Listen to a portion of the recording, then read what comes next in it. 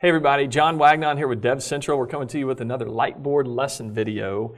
And today we're going to talk about some federation services, some federated access, kind of single sign-on sort of stuff. So uh, specifically, we're going to outline the Microsoft Active Directory Federation services, how that works, and then how you can implement some big IP technology and make your life a ton easier. All right, so um, what I'm going to do is I'm going to draw kind of a flow of what happens when a user is trying to access a, uh, a resource or a web service, and uh, and then we'll and then we'll kind of draw the F5 side of the house. All right. So let's say you have a, uh, a user out here in the internet.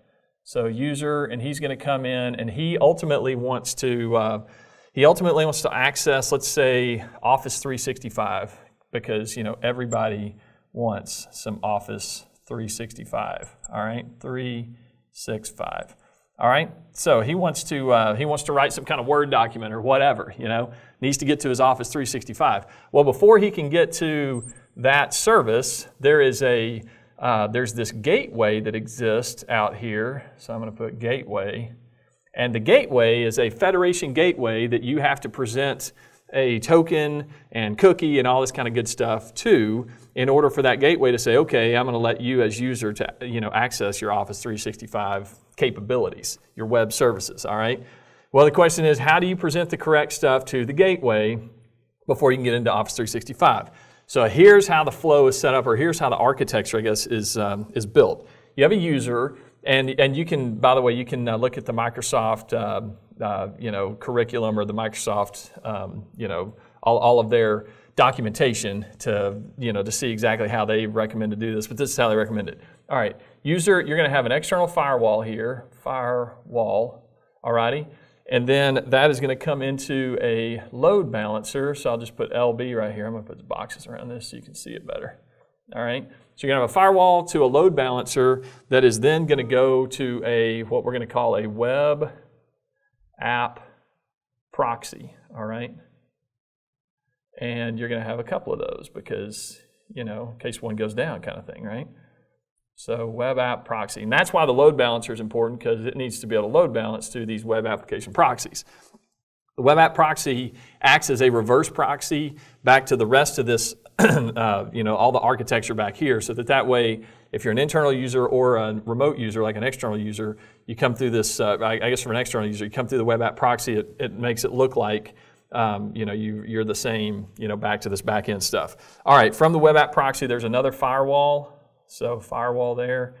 Um, and then there's another load balancer. So I put LB right there.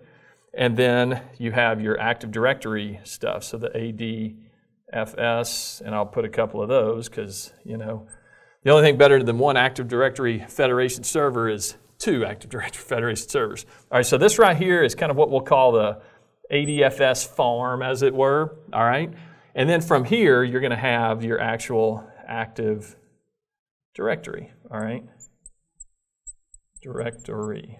All right, that's a, that's a C right there. Apologize for the penmanship. All right, so basically what happens, user comes in, goes through all this stuff, and, and, ultimately, again, he's trying to he's trying to write that Word document. You know, he's trying to get to Office 365. But ultimately, the user is going to come through all of this stuff. He's going to authenticate to the Active Directory Federation Services farm. But the way that, uh, that that's going to happen is the ADFS servers are going to come and authenticate that user to Active Directory. Then that's when he gets the token and the cookie and the things that he needs to then present to the gateway over here and then the gateway is going to say, okay, based on the cookie and the token that you were that, that you gave me, I'm going to give you access to your Office 365 web service. And so everybody's happy. So now he's he's in there. All right, you can tell from the architecture here, you're going to need a firewall, a load balancer, web app proxies, another firewall, another load balancer, and then you're back into the Active Directory, you know, stuff. So let me show you how you can do this if you want to do it on the F5 side of the house. All right, you got that same user up here, and he is still trying to access that same, that same Word document, right? Um, all right, so he's going to come in, and rather than having to put a firewall in place here, uh, you can put a big IP, and I'm just going to put big, goodness, big IP.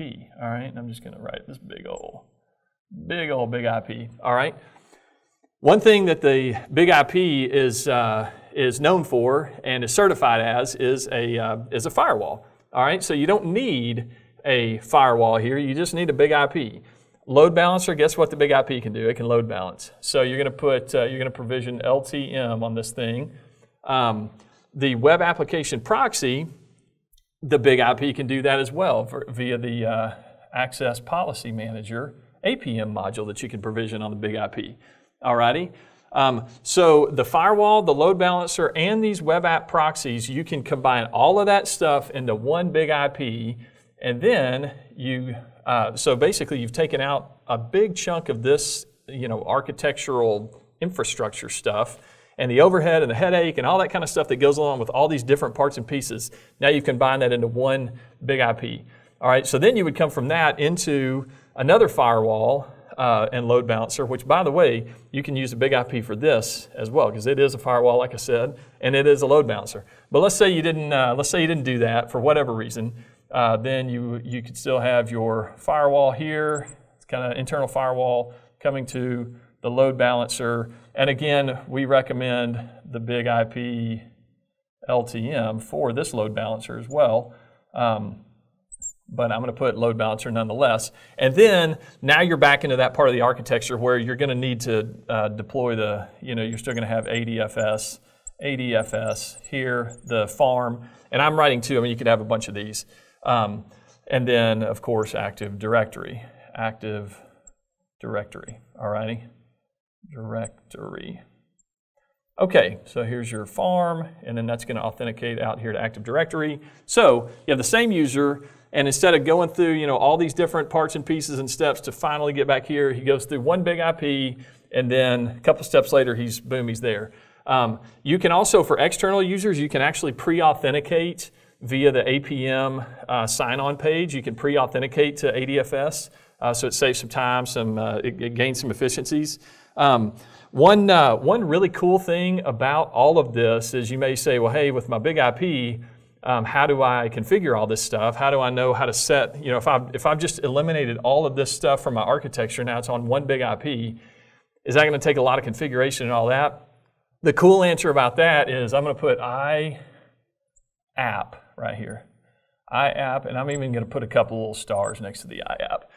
Because there's an iApp out there that you can run an iApp on your big IP and it will configure all this stuff for you. You answer a few simple questions and, uh, and then once you answer those questions, it will pre-configure all of the different settings and all the different stuff that you need uh, to make sure that all of this stuff is set up uh, exactly the way that, that it needs to be. All right, this, is, this can be used for ADFS 2.0, 3.0, 4.0. Um, you, as you set this up, you need to make sure you use the correct version of Big IP, depending on what version of ADFS that you're wanting to do. But the, uh, but the good news story here is that you're going to have to deploy all this stuff anyway because you want that single sign-on capability. You know, you want that claims-based single sign-on stuff for all your users, so they don't have to have all these multiple logins, multiple passwords. So you're going to do this anyway. You might as well do it much more efficiently and conveniently and make it go faster by deploying one big IP, and, uh, and life is good. So, uh, so I hope you've learned a couple of things on how to uh, you know, gain some efficiencies in the ADFS uh, architecture and uh, get out there, use the big IP technology to your advantage, and, uh, and man, everyone's going to have a great day after that. So thanks for watching this Lightboard lesson video. Uh, if you like this, make sure you subscribe to our YouTube channel, and we'll see you guys out there in the community.